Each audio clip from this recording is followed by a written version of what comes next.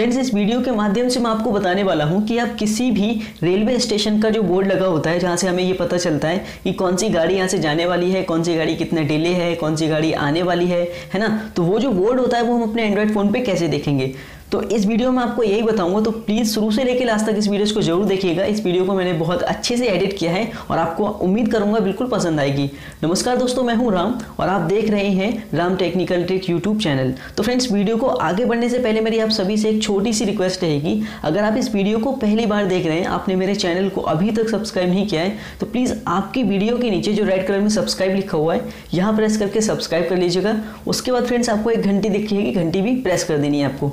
Subscribe करने के कोई पैसे नहीं जाएँगे, ये फ्री में होता है तो प्लीज़ ज़रूर करिएगा और इससे आपको फ़ायदा ये होगा कि मैं आने वाले टाइम में ऐसी ही कोई ज़रूरी जानकारी जब भी कोई वीडियो अपलोड करूँगा तो वो वीडियो डायरेक्ट आप तक पहुँच जाएगी और आप उस मेरी वीडियो को सबसे पहले देख पाएँगे। तो प्लीज़ फ्रेंड्स मैं आपसे रिक्वेस्ट करता हूँ सब्सक्राइब ज़रूर करिएगा।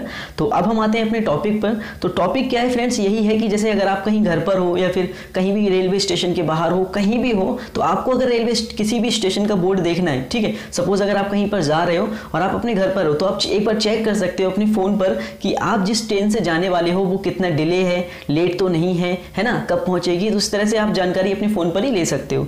तो उसके लिए फ्रेंड्स आपको क्या करना है? अपना प्ले स्टोर ओपन करना है और यहाँ पर एक एप्लीकेशन का हम यूज़ करेंगे, ठीक है? तो मैं आपको स्टेप बाय स्टेप बता देता हूँ। सबसे पहले प्ले स्टोर ओपन किया, उसके बाद यहाँ पे सर्च किया एन ठीक है फ्रेंड्स आप एन टी एस सर्च करोगे तो आपको इस तरह का एप्लीकेशन मिल जाएगा।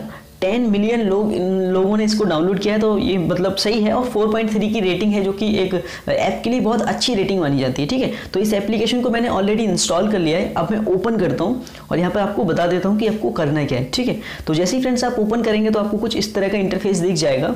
अब आपको क्या करना है? लाइव स्टेशन ठीक है फ्रेंड्स यहाँ पर देखिए लाइव स्टेशन तो अगर जैसे फ्रेंड्स आपको किसी ट्रेन का नंबर पता है तो आप क्या करेंगे? स्पॉट ट्रेन यहाँ पर क्लिक करेंगे।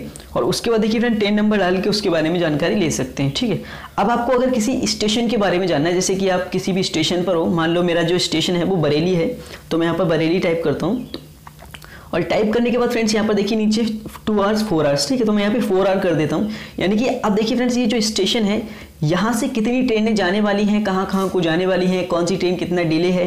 तो इस स्टेशन के बारे में अगर मुझे जानकारी लेनी है तो मैं क्या करूँगा? गेट ट्रेन ठीक है? पहला यूज़ तो इसका ये है। दूसरा ये यूज़ ये है फ्रेंड्स कि जैसे अगर आप दहली से बरेली या वो सॉरी बरेली से दहली जा रहे हो या फिर कहीं भी जा रहे हो तो आपको उस रूट के बारे में जानना है कि उस रूट पर, पे कौन कौन सी ट्रेनें जाएँगी। तो वो मैं आपको अभी बताता हूँ, पहले इसको समझ लेते हैं गेट ट्रेन पर, ठीक है? तो जैसे मैंने गेट ट्रेन किया तो यहाँ पर देखिए जो वर्ड होता है वो यहाँ पर आ गया है, ठीक है? तो सबसे पहले हमें देखिए यहाँ पर जितनी भी गाड़ियाँ हैं उन सबका ऊपर यहाँ पर ट्रेन नंबर लिखा है ट्रेन नंबर मिलेगा। उसके बाद देखिए फ्रेंड्स स्टेटस हमें मिलेगा अराइवल का और स्टेटस मिलेगा डिपार्चर का, ठीक है? दूसरे वाले पे। तीसरा जो ऑप्शन है डिले ठीक है? यानी कि जो ट्रेनें हैं, वो कितनी डिले हैं? जैसे कि यहाँ पर एक जो ट्रेन है, गरीब नवाज़ एक्सप्रेस ये तीन घंटे पैंतालीस मिनट डिले है। यानी कि तीन घंटे पैंतालीस मिनट लेट देरी से चल रही है, ठीक है? उसके बाद देखिए फ्रेंड्स जो एक्चुअल टाइम होगा, यानी कि लेट होने के बाद जो भी इसका अराइवल का और डिपॉचर का टाइम होगा, वो यहाँ पर दिखाया रहा है। उसके बाद देखिए फ्रेंड्स यहाँ पर प्लेटफॉर्म नंबर ठीक है? तो यहाँ पर आपको प्लेटफॉर्म नंबर भी मिल जाएगा कि ये जो ट्रेन है वो कौन से प्लेटफॉर्म नंबर पर खड़ी हुई है। तो इस तरह से आप इस तरह की जानकारी ले सकते हैं। अब इसका सर सेकेंड यूज़ है वो मैं भी आपको बता देता हूँ। जैसे कि फ्रेंड्स अब आपको जाना है बरेली से दिल्ली, ठीक है? आप कहीं भी जाओ तो जिस जहाँ से आप जा रहे हो तो वो स्टेशन डालोगे ऊपर और जहाँ भी आप जाना चाहते हो, वो स्टेशन डालोगे नीचे। तो मैं जैसे मान लो, मैं डाल देता हूँ दिल्ली। दिल्ली छोड़ो, मैं यहाँ पर रामपुर डाल देता हूँ। तो जैसे ही मैंने फ्रेंड्स अब जैसे मुझे बरेली से रामपुर जाना है, ठीक है? तो मैं यहाँ पर फोर आर पे क्लिक करके गेट ट्रेन पे क्लिक कर दूँगा।